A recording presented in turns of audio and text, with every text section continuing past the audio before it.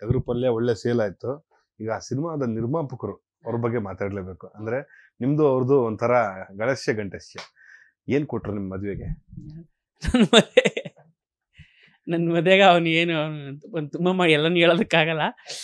But ಒಂದೇನಂತಂದರೆ ಅಲ್ಲಿ ಮದುವೆ ಆದಾಗ ರಿಸೆಪ್ಷನ್ಗೆ ಬಂದು ನನಗೊಂದು ಚೈನು ಅವಳಿಗೊಂದು ಚೈನು ಎರಡು ಚಿನ್ನದ ಚೈನ್ ಹಾಕಿದ ಕತ್ತಿಗೆ. ಅದಲ್ಲದೆ ಯಾವಾಗಲೂ ಗೆಳೆಯನಾಗ ಜೊತೆ ನಿಂತಿರ್ತಾನಲ್ಲ. ಅದಕ್ಕಿಂತ ಹೆಚ್ಚು ಇನ್ನೇನು ಬೇಕಿರುತ್ತೆ? ಅಂದ್ರೆ ಹಾಂ ಏನ ಹಾಂ ಈಗ ಬಂಗ ಹಾಂ ಗಟ್ಟಿ ಬಂಗಾರ ಅದು. ಯಾವಾಗ ಒಂದು ಕಾಲವೇ ಇರ್ತಾನಲ್ಲ. ಓಕೆ ನಾನು ಏನೇ ಕಷ್ಟನೋ ಸುಖನೋ ಏನಕ್ಕೆ ಒಂದು ಕಾಲವೇ ಇರ್ತಾನಲ್ಲ. ನನಗೆ ಅಷ್ಟೇ ಸಾಕು. ಇನ್ನೆಷ್ಟು ವಿದ್ಯಾಪತಿ ಸಿನಿಮಾ ಬೇರೆ ನನಗೆ ಪ್ರೊಡ್ಯೂಸ್ ಮಾಡ್ತಾ ಇದ್ದಾನೆ. ಅದು ಡಾಲಿ ಪಿಕ್ಚರ್ಸ್ ವಿದ್ಯಾಪತಿನಿ.